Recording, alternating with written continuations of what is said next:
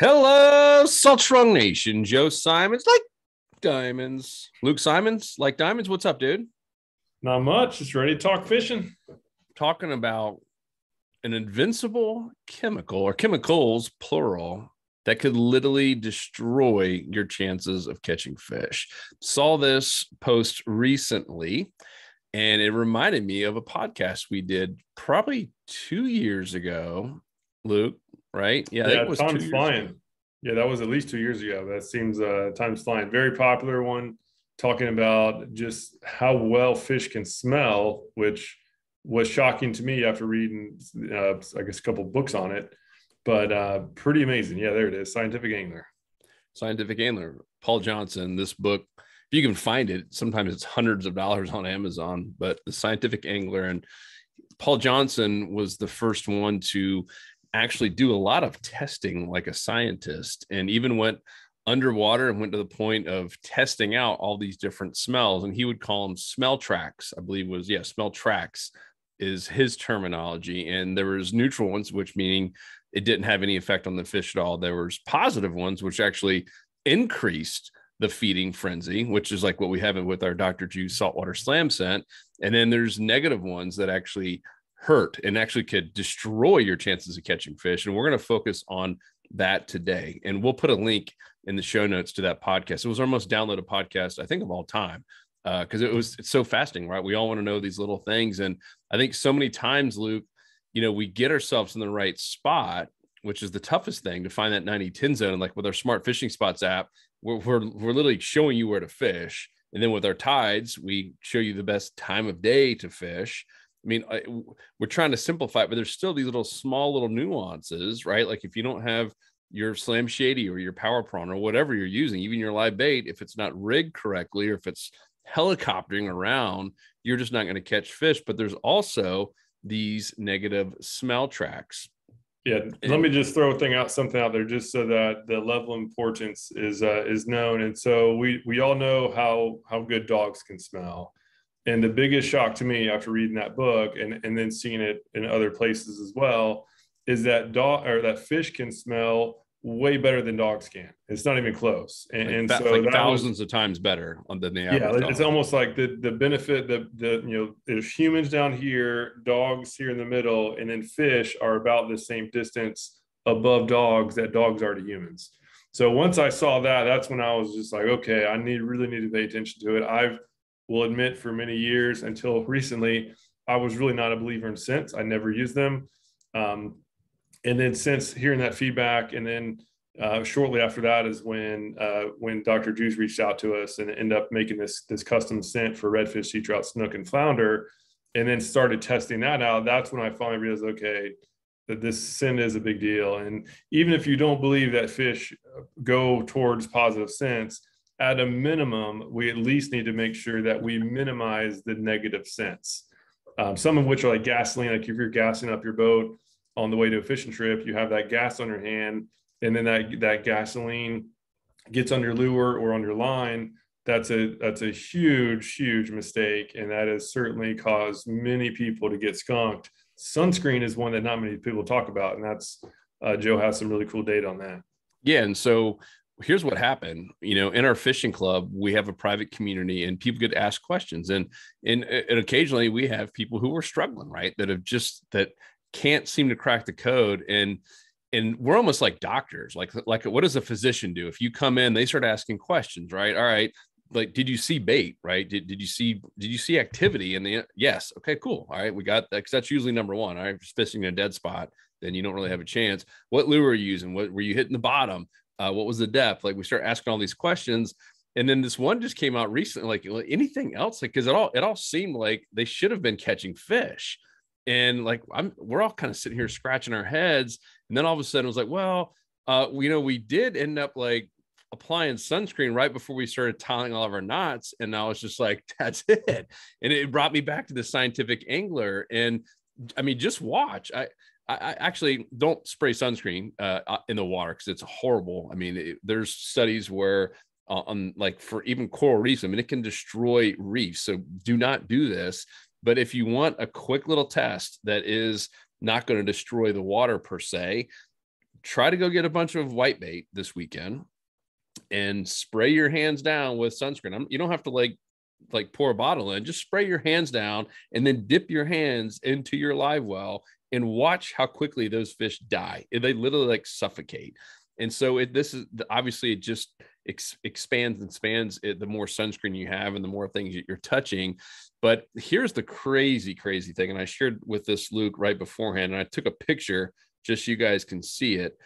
So my daughter Savannah, we were going out in the boat and uh, I couldn't find our normal sunscreen. And so I had some little spray bottle thing. And this was almost a month ago. And we have a black top out. So we have our carport and then we have a black top uh, out to the out to the street. And so I had her out there and I'm just spraying her down. And she's obviously got her feet on the her bare feet on the black top, and I'm just spraying her down. So I don't know if you can see those two little feet there, Luke. I, I got a better picture, but just to give oh, you an yeah. idea, that's the black top. So the white gonna, stuff is the spray. I'm going to zoom in that you can clearly as day see her feet. This is 30 days old. I'm, I'm honestly feeling guilty that we're putting this stuff on our kids and our own. This is on her skin. This is 30 days later on blacktop and and by the way, I, we live in Florida. It has rained a lot in the last 30 days. I've tried to go there and scrub it off. It still will not come off the blacktop. So I think a lot of people make the mistake, especially with this. I'm going to call it crap because it is. And this is the kid stuff. This is not the, what I sprayed in her, by the way. It was some other thing that had all kinds of gooey stuff in it. But like this banana boat and the Coppertones, especially the spray stuff, if you just look, on the back of the active ingredients, anytime you see words that you literally can't pronounce, like acin bendane and humana still kill me bendane like i mean these are crazy words that no one even can pronounce was kill and me in there did it was was kill me actually in there did you yeah kill up? me was not in there that, oh, okay. I, I, added that part in, to the back on I should say they're not even they're not even hiding behind it. No, um, that would have been really bad. But I mean, the, I think the misconception is, oh yeah, I spray this on, and you know, because it usually kind of rubs off my skin, and I could still get sunburn, which is true that it's just all gone. There are still traces of this clearly, you know, even after you get a little bit of water on you. So I think a lot of people they spray this stuff on them. They, you know, they rub it in and they just maybe wash their hands in the water real quick and assume it's gone. That's not even remotely close. That is still on your fingertips. And if you start tying your knots right after that, or even an hour after that, I'm telling you, that could still be on there. Normally, when you're tying a knot, you're hanging on to either the hook, right? Or the jig head, or maybe you even already have a, a lure like a slam shady on a jig head and you're tightening it up. I mean, you're literally touching that entire apparatus, if you will, the, the entire leader rig and and that i mean fish literally get turned off by that. So eh, i'm not that's not here to say that you can't catch a fish if you put sunscreen on. I'm, if there's a feeding frenzy you can probably doesn't even matter but that's usually not the case right? And so us as, as kind of like fish doctors we're sitting here trying to eliminate all this stuff and sometimes it comes down to as simple as this. And paul johnson in the book I mean, he's got two chapters dedicated to this this whole negative smell tracks and he talks about two two people in a boat. This is part of the study. And one he would have them put sunscreen and i'll read the other negative scent tracks here in just a second. And the other you know we'd have clean hands like just wash hands. They'd be fishing on the same little boat right next to each other fishing the same little hole right? I mean, everything identical, same bait, same line, everything. And the one guy would be catching fish after fish, and the other one would catch nothing.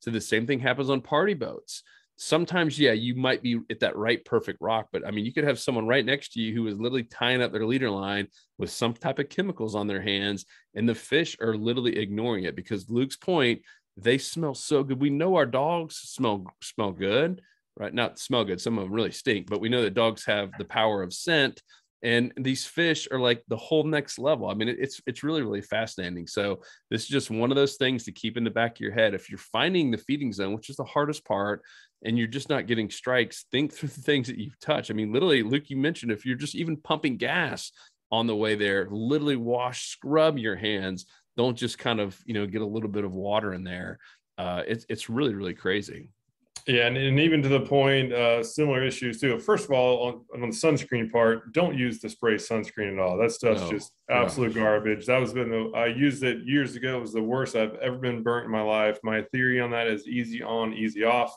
I was scalloping, and it was the worst my back has ever been burnt. I will never touch it again. And now after seeing this, right, it's just some some gnarly stuff in there. The fact that it's been stuck in the driveway, that's crazy. But uh, but number two, as far as just as as making sure that your your line, your lure, all that is as scent free as possible. One tip as well that I, I, know a lot of people do is they store their rods and their reels in the garage. And there's and they have like for mowing lawns and stuff, they have gas cans in there as well. And that that gasoline is just basically basically gets in the air and will attach itself to whatever's in there. And now it's on your line, right? And it's on your lure. So highly recommend keep your gear indoors without gasoline uh, scent or any kind of chemical, um, any kind of chemicals touching it. And then also too, when you are rigging up, um, yes, you know, obviously you can use sunscreen, use the natural stuff, the, the chemical free. I'm sure Joe has some some recommendations. I um, I use that white bottle. I can't find it for me uh, for the life of me right now, but uh, I think it's out in the boat. But but just use the stuff that's that's natural, zinc, and a couple other chemicals are in there. But but most importantly, is tie your lines before you go out fishing. I usually do it the night before. That way, I'm you know after shower and everything, everything's as scent free as possible. Tie it all in. That way, it's ready to rock. And then when you do put sunscreen on the next day, it doesn't matter because you're already locked and loaded and uh, and, and, no problems. Just minimize. Long story short, just minimize the amount of of uh, of any kind of scents that get on the line or the lures. Yep. Yeah. The one that you're referring to, the sunscreen is SkinMedica, and it's not tons of other uh, ingredients. There's only one or two. If you really look at the stuff dermatologists recommend that you put on your skin, not have chemicals all over your body and in the water. And this is the stuff that should not kill fish and should not be killing reefs is zinc oxide and titanium dioxide. I mean, it's really those two uh, and that's it. Then then you have different versions of is it you know nano and all this stuff, but those are the two the only two active ingredients you should have in any kind of. And then it's not even sunscreen; it's sunblock. It's literally blocking the the sun's harmful UV rays versus with chemicals, you're still it's still soaking in. Like the whole thing's a hot mess. I it, it's it's amazing. I mean, it's just the power of these billion dollar brands who are literally lobbying against uh, you know, lawsuits, but I mean, there's studies going on trying to say that this is actually causing more cancer than not even putting sunscreen on at all. I mean, isn't it crazy? You know, 50, 60 years ago, sunscreen hadn't even been invented yet. There was none of it, or it was very, very rare.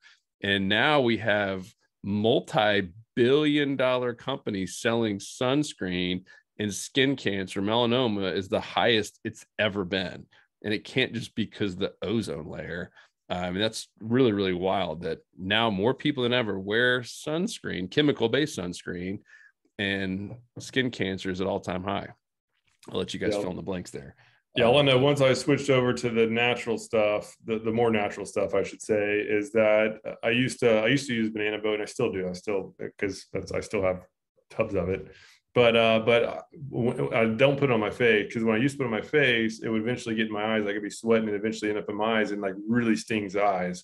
And and then the natural stuff does not sting your eyes. At least at least I've never had any issues with it. So that was just a, another of many reasons to use the good stuff and not the uh, the stuff on like the discount discount sunscreen aisles. Your whole Those life got better, dude. You get you ever since you got engaged. I mean, all kinds of good things have been happening to you. Yeah, yeah. Life good. was horrible prior to that. But this is not a sunscreen pitch. You guys can do whatever you, you want. That's still your decision. But when it comes to fishing, our job is to help you catch more fish.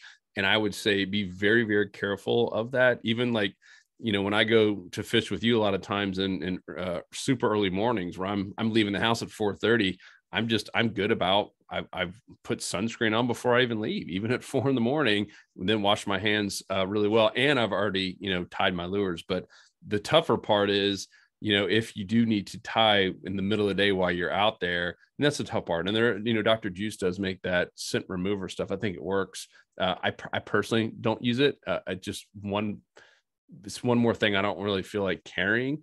Uh, but it, I mean, it can't hurt. And so Dr. Juice, I mean, he is a, a scientist. It's a real guy that created that to be able to take all of those bad chemicals and the L-serine, all the things that are bad, uh, the the negative smell tracks based on this book really is where it came up with it uh, to be able to take it off of your skin. And it's wild how long that will stay on there, and you would never know. Like it's not you're not going to be able to smell it, you're not going to be able to see it.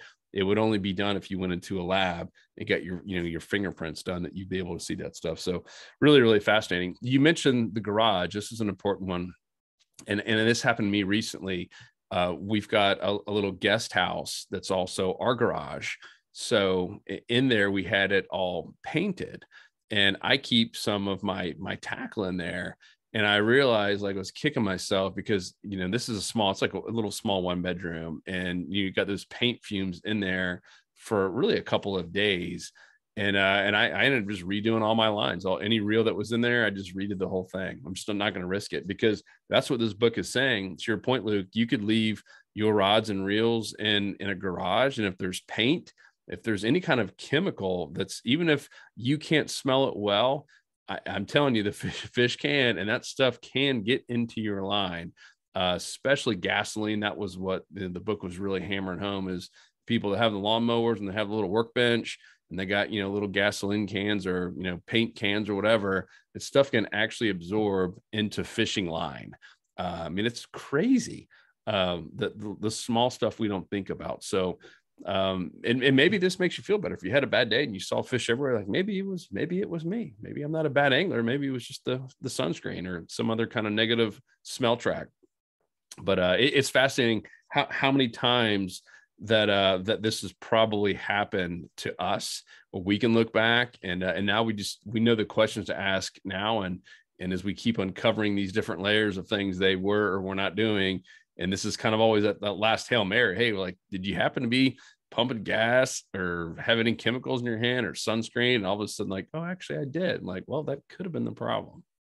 Yeah, and even smokers too. So another reason yep. not to smoke uh, is that in that book too, there was a guy who was a smoker and a non-smoker, and the non-smoker was just totally out fishing the smoker, and it was because you know tobacco or whatever's in cigarettes is a is a negative scent, and so uh, again, long short short, just any of these scents, odds are if it's not natural, it's not good, and uh, and so try to keep as scent free as possible and also highly recommend putting scents on your lures. Again, I mentioned before, I was not a believer in it.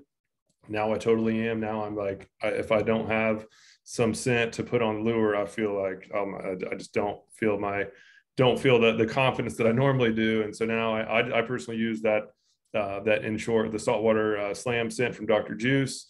But there's a lot of other stuff out there because it's just important. Now knowing that fish smell much better than dogs, which smell much better than humans we need to make sure that at a minimum we're at least masking any sort of negative scents that we have with the positive scent.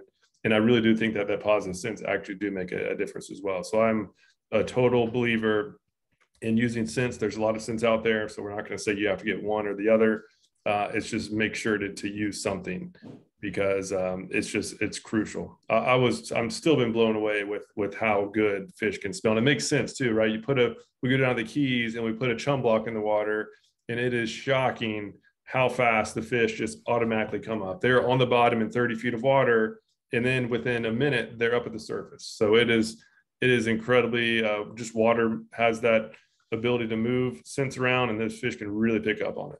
Mm-hmm. Yeah, that is crazy, right? I mean, it, it is the last couple times in the Keys. Uh, I I want to say you could probably count down less than sixty seconds, and it's not one or two. It's school. Like, whoa, where did these things come from? And uh, yeah, that's that's a uh, really really crazy.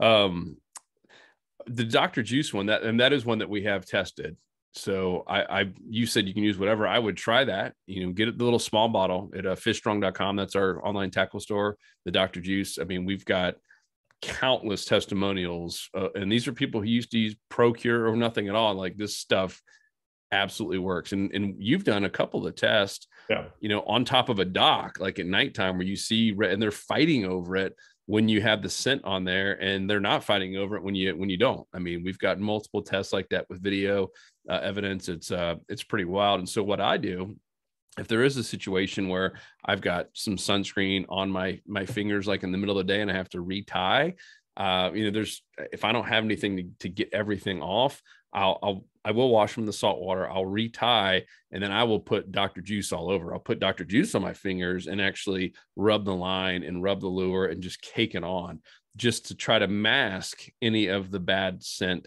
that might have been on my fingers. And, uh, and and you've probably watched if you've seen any of our live podcasts. Luke does that all the time because I've seen people in the comments say, "What is he doing with the line?" Uh, he's just he's just rubbing that stuff even on the leader line and go all the way up if you want to. Uh, just I want I if you're like me, time, your time is valuable. You don't get to fish every single day. You want to maximize it and you want every possible advantage over the fish. And uh, to me, trying to mask any bad scent is a no brainer, especially when these Dr. Juice stuff flat out works. Um, the only bad news is they start might start biting your leader line, but no, I'm just kidding. They'll bite the lure first.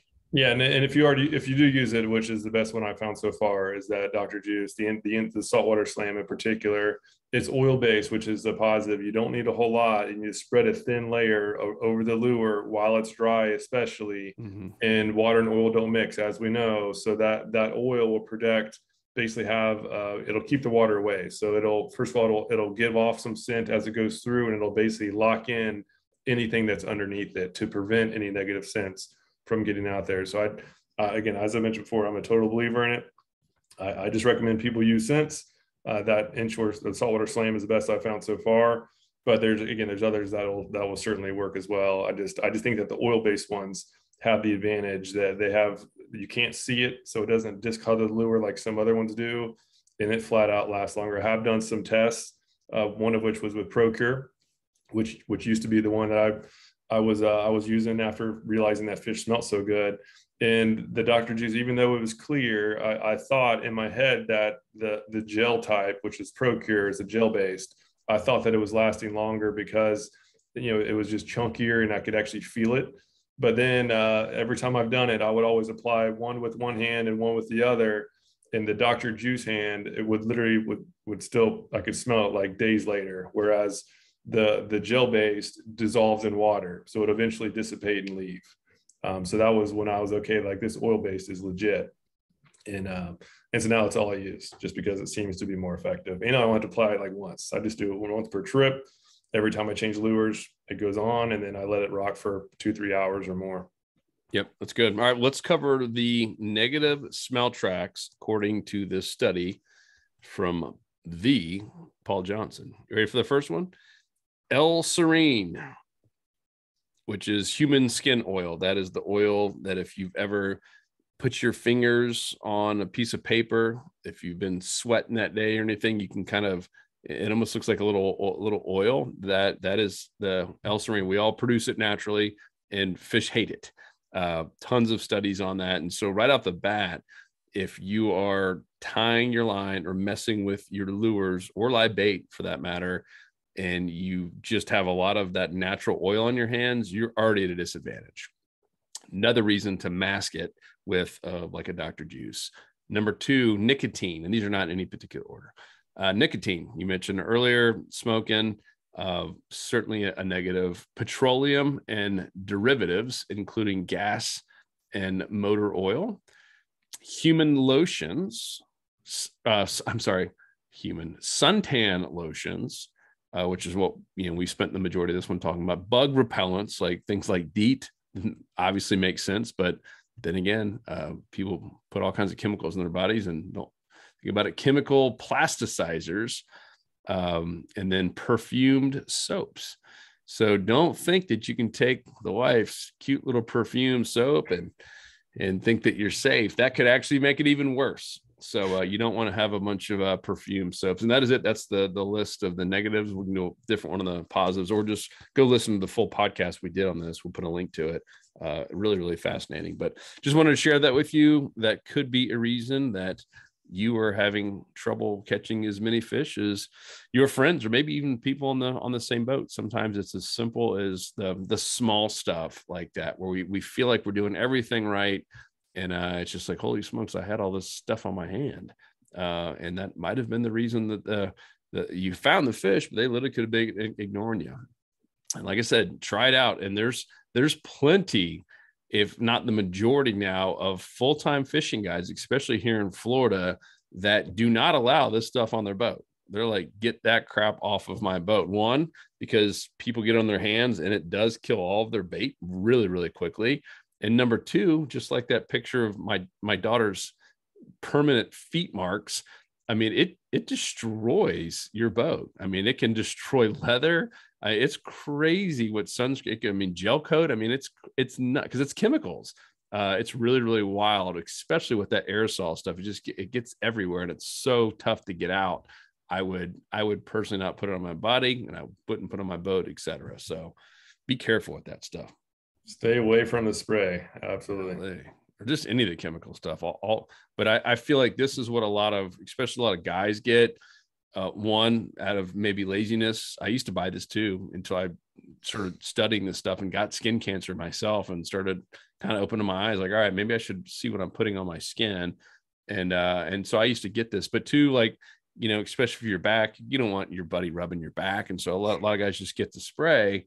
But I, man, I, I'd rather just put a shirt on uh, than than put that kind of stuff on my on my body. So hope that was helpful. If uh, you guys have questions, thoughts, uh, other things that you've seen out there that have helped or hurt in terms of uh, fishing in, in the scent, uh, let us know. Put a put a little comment down below, and we'd love to hear from you.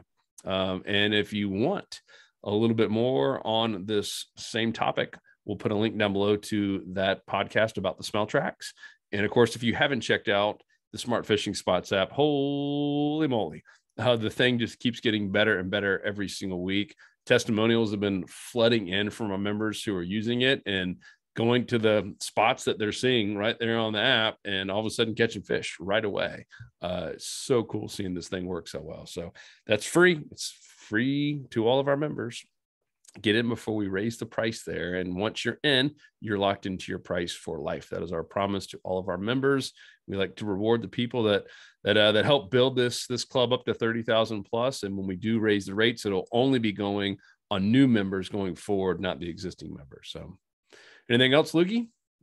Well, that uh, covers it. Yeah, just be just be mindful of the scents. It is a, it is a big deal. Something I totally overlooked for many years, and no telling how many fish it prevented me from catching. So yep. don't make the same mistake I did.